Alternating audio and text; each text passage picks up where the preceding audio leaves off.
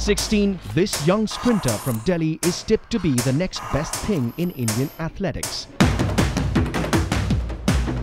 मेरा ध्यान अभी अपने गोल पे होना चाहिए बस इंडिया के लिए अच्छा करना है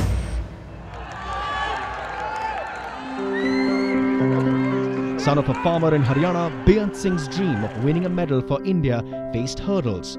He lacked adequate funds to train.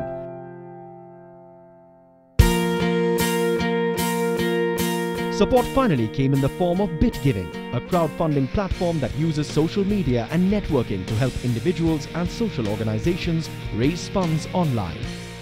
change is happening on social media. Uh, there are petition, petitions that are being done. There are people coming together to rally for a cause. That power that is being harnessed for an online platform like ours. We've seen Bean Singh, an athlete nobody knew about, uh, actually going out and raising funds to represent our, our country uh, worldwide.